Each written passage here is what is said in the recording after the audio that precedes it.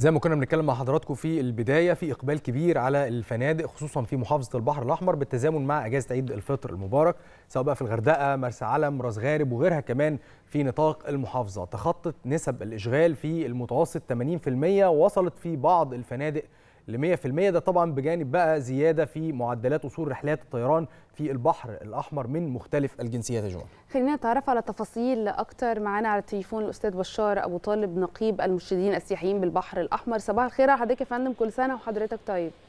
صباح الفل عليك أستاذة جمانه وصباح الفل على الأستاذ محمد وعلى كل مشاهدينا وشعب مصر العظيم وكل عام وأنتم بخير جميعا. أهلا بيك يا فندم. شكرا يا فندم يعني الحقيقة إنه محافظة البحر الأحمر هي وجهة سياحية إن كان للسياحة الداخلية أو حتى العربية أو الأجنبية لو هتكلمنا عن ملامح الاحتفالات اللي شهدتها محافظة البحر الأحمر خلال عيد الفطر المبارك يا فندم ومدى جاهزية المحافظة كمان يعني محافظة البحر الأحمر عموما الجو فيها حاليا رائع والبحر ممتاز جدا لكل الأنشطة البحرية وده طبعا هو الأساس اللي إحنا بنبني عليه السياحة.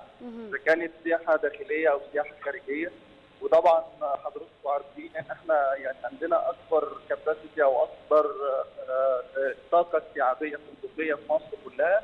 بتتعدى ال 90000 غرفة في يعني نطاق مدينة الغردقة خصوصا طبعا بملحقاتها زي ما حضراتكم عارفين حوالين الغردقة في جونه وفي مكادي وفي سهل حشيش وفي سومبي وفي طبعا سفاجة وبعدين بنخش على القصير ومرسى علم.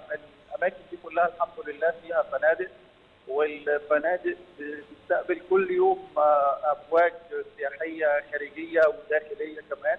وطبعا بمناسبة عيد الفطر المبارك لاحظنا وجود عدد كبير من المصريين جايين من كل أنحاء الجمهورية بيقضوا أجازتهم باستمتاع مع أولادهم طبعا وكل يعني الحاجات اللي هي بتجذب الأسرة المصرية عموما زي الأكوا وال يعني كل مكان في أكوا بارك في محافظة البحر الأحمر. وأصبح عندنا كمان حاجات كتير للأنشطة الترفيهية التجارية ليلا يعني مولات كبيرة وعندنا ممشى بدل الممشى في خمس أماكن للتنزه وطبعا لحضور حفلات حصل منها بعض الحفلات لفنانين مشاهير في نطاق الجونه وسهل حشيش ومكادي بي. وكنا طبعا الأجازة لسه ممتدة معانا. وطبعا في عدد الحمد لله كويس جدا في عدينا 80% وفي فنادق وصلت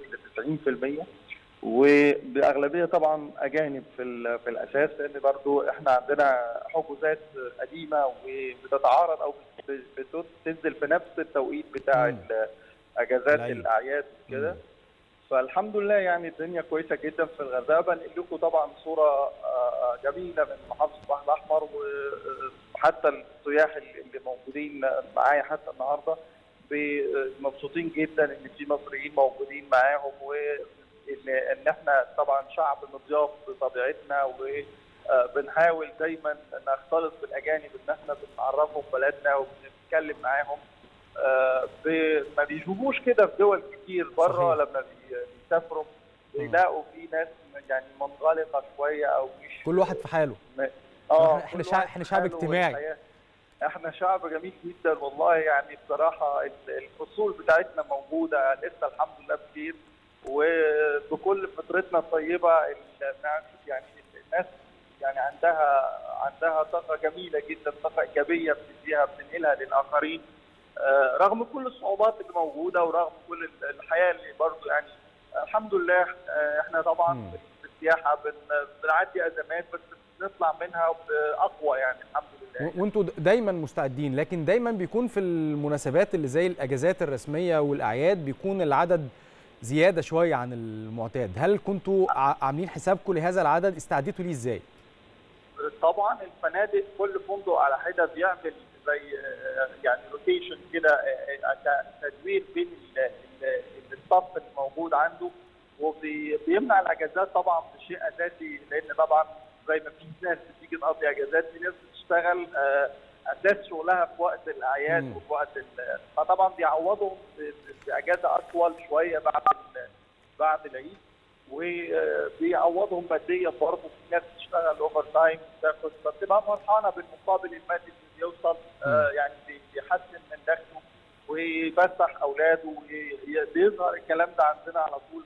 بس إحنا طبعا آه، يعني بنفكر دايما في خدمة السائح إن هو ال- الشغل بتاعنا.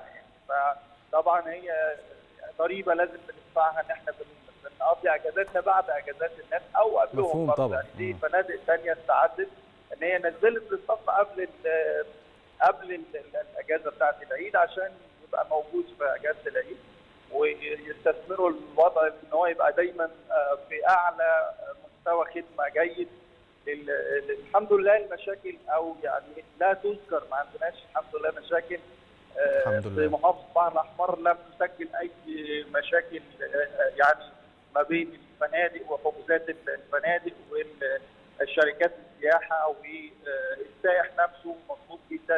آه، يعني مشاكل لا تذكر مو- بتتوجد كده بظروف معينة أو بتعدي ببساطة الحمد لله يعني. الحمد لله. طبعا ده شيء يعني آه، يسعدنا جميعا. بنشكر حضرتك جزيل الشكر الأستاذ بشار أبو طالب نقيب المرشدين السياحيين بالبحر الأحمر. شكرا لحضرتك يا فندم.